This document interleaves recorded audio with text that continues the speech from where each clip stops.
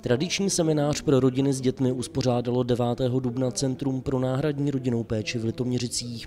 Pěstounům a osvojitelům tak umožnilo promluvit si s odborníkem, zatímco děti zabavilo pestrým programem. Tento typ semináře pořádáme dvakrát do roka. Jsou to semináře, které jsou pro celé rodiny. To znamená, že rodiče se jdou vzdělávat. Tentokrát bylo téma eh, vztahy v rodině a jak je udržovat na dobré úrovni s lektorem Pavlem Kalpakcisem. A během této doby, co se rodiče vzdělávají, tak děti mají zajištěný program. Eh, teď na jaře měli děti program, byli v, eh, v galerii na výstavě Maleb Josefa Lady, potom v muzeu na Litoměřickém náměstí a zároveň mají potom ještě nějaký program venku a měli jsme kurz žonglování pro děti zajištěn.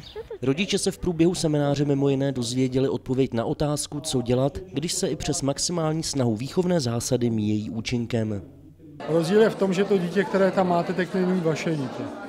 Je to dítě, které jste vlastně přijali, má nějaké svoje dispozice, nějaké geny, něco si přináší a e, vy můžete mu sice dát nějaký kousek toho, jak mu, co mu do života třeba dáte, co by mu chybělo, co by nemělo, ale nemůžete to ovlivnit třeba tak silně, jako když je to vlastní dítě, které přišlo k nám do rodiny.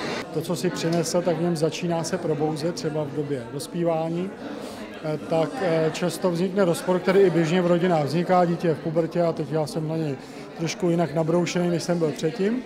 A tady se děje to, že to dítě také někdy řekne, ale ty nejsi můj táta, ty nejsi moje máma.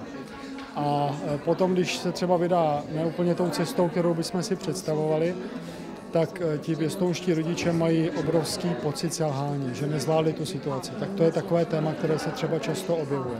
Rada spočívá v tom si uvědomit, že e, kdyby dítě se s námi nesetkalo, kdyby nebylo v té pěstounské péči, tak by procházelo životem a prožívalo něco, co by ho ve finále, no by se asi do té pěstounské péče nedostalo, vedlo spíš dolů než nahoru.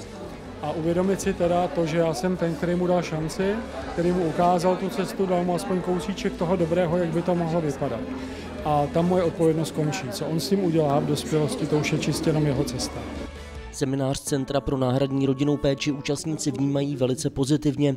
Někteří se těchto akcí zúčastňují dokonce pravidelně. Je to zajímavý kurz, přináší nám to, spíš nám to otevírá obzory, tak bych to řekl.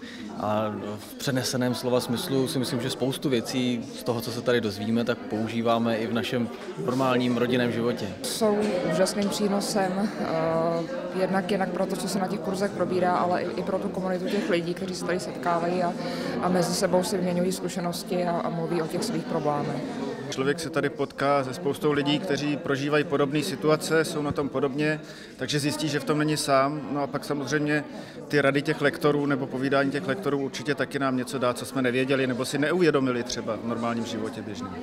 Zatím poslední seminář Centra pro náhradní rodinnou péči si nenechalo ujít 33 dospělých a 20 dětí.